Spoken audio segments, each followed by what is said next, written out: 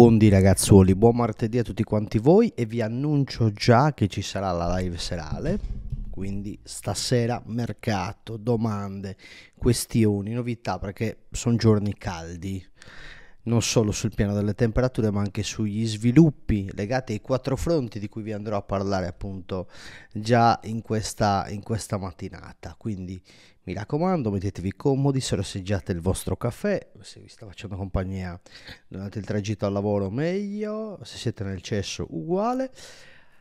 Prima di iniziare lo sapete perché vi chiedo l'interazione, aiuta eccetera a far crescere il canale e a spingere. YouTube è un algoritmo dove oltre al tempo di visualizzazione che è la metrica più importante, tutte le interazioni che fate sono importanti, quindi like, lasciatelo per quello, iscrizione se ancora non l'avete fatta, eh, mandate dei piccoli input che aiutano e migliorano il canale. Grazie ragazzi.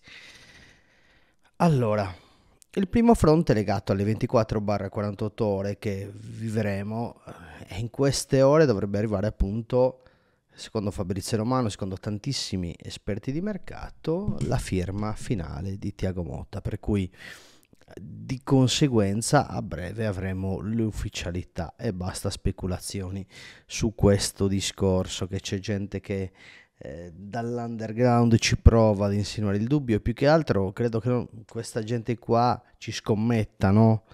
Eh, ovvero tanta gente cosa succede che sui social diventa magari famosa perché? perché cerca sempre di essere la controparte di una narrativa in questo caso c'è Tiago Motta che è vicino alla Juventus, eccetera, già tutto ufficiale, tutta la stampa allineata, c'è qualcuno che dice vabbè ma non ha ancora firmato, qual è il punto? Insinua qualche dubbio, si autoconvince di questo e cerca di fare poi la sparata e la propria deduzione, senza però avere delle fonti certe. Quindi io vi dico, su Motta sono abbastanza tranquillo e aspetto con calma e serenità l'evolversi della situazione, ok? e poi vedremo.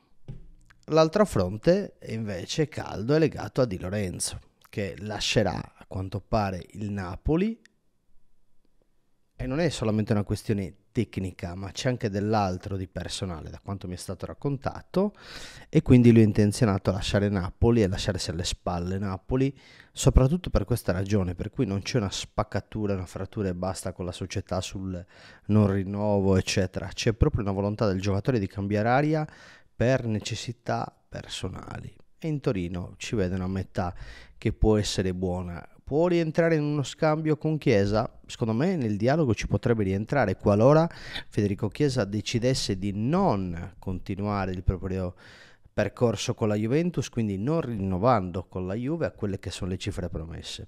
Si aspetta probabilmente un ingaggio più alto, anche se io fatico, mi interrogo fatico a trovare una risposta su un'eventuale squadra che può dare a Federico Chiesa un ingaggio di quella portata.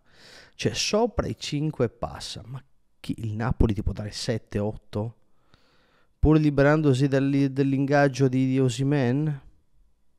Ma faccio veramente fatica a pensarla una cosa simile.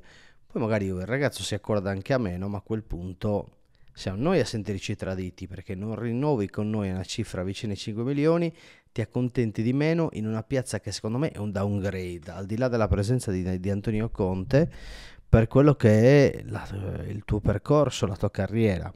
Mia opinione personale per Chiesa. Io ovviamente spero che rimanga alla Juventus, però capite bene che qualora non combini nulla sul rinnovo, beh, a quel punto ragazzi la cessione mi pare più che eh, naturale, un, un, non vedo altra via. Perderlo a zero per me è un erroraccio grave, quindi bene che la Juventus decida eventualmente di piazzarlo eh, per Di Lorenzo più un conguaglio a favore nostro, quindi vediamo un po' cosa succederà, questa è un'altra, un'altra situazione che va monitorata. L'altra situazione che invece va monitorata molto molto bene perché arrivano sempre più voci insistenti è quella legata alla cessione sia di Link Junior sia di McKenny in cambio di Douglas Luiz e la Juventus dovrebbe mettere sul piatto altri 10 milioni. Marianella si è detto quasi scandalizzato da questa situazione perché apprezza tanto Douglas Luiz e pensa che quella cifra sia anche bassa rispetto a quello che è il valore del giocatore. Ora, io non mi sono fatto un'idea chiarissima del, del valore e della portata di questo colpo, fatto sta che la Juventus riesce a dare una passata di spugna totale a due giocatori che hanno situazioni contrattuali anche qua complicate, difficili da risolvere, giocatori per i quali non, insomma, non riesci più a trattenerli, li molli, li monetizzi e cerchi di rimescolare un po' le carte a centrocampo, andando a ripolpare con gente che abbia un bel po' di qualità. E Douglas Lewis, a quanto pare, di qualità ne ha abbastanza e ha anche, credo, degli apprezzamenti importanti da parte dei vari scout, dei, dei, dei vari eh, amanti della Premier, tra cui lo stesso appunto Massimo Marianella. Eh, io non vi so dire su questa cosa. Fatto sta che qua sono così tante le, le trattative da fare che non tutte potranno andare sempre a favore nostro. Quindi io vedo invece in queste opportunità la, un, di mercato, eh, vedo veramente la possibilità di sfoltire la rosa, di incassare e allo stesso tempo di far mercato. E quindi eh, di prendere dei colpi quasi a zero perché ti stai finanziando quel colpo là con le uscite, uscite che sono quasi forzate da situazioni contrattuali per cui non abbiamo neanche il coltello dalla parte del manico e dobbiamo solamente spingere affinché queste non portino a un'uscita a zero poi e quindi capite bene che Giuntoli dal punto di vista della trattativa si trova in una situazione molto scomoda. Il quarto fronte che invece dobbiamo tenere eh, con grande attenzione e mi dispiace un sacco il fatto di non averlo salutato bene, Scesni. Eh, a quanto pare ha aperto alla possibilità di andare in Arabia per due anni.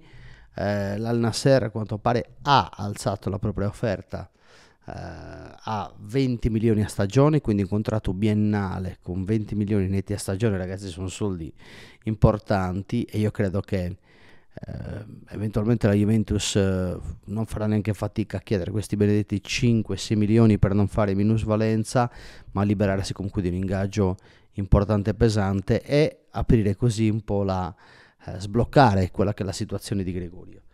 Eh, mi dispiace per una cosa per Scesni perché è sempre stato secondo me molto sottovalutato anche da tanti della nostra tifoseria, invece io reputo uh, Scesni intanto dallo spessore umano enorme, un grande uomo spogliatoio, mi dispiace perderlo, è un gran portiere e quindi veramente perdiamo un bel pezzo di storia della Juventus.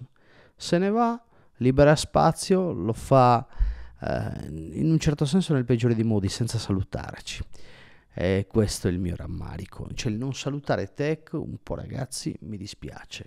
Emotivamente un po' eh, mi, mi prova, eh, quindi questo concedetemelo.